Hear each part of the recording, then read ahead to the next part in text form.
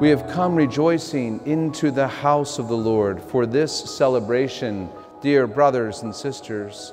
And now we stand with Thomas and Andrea on the day that they enter into the holy covenant of matrimony. For them, this is a moment of unique importance. So let us support them with our affection, with our friendship, and with our prayer.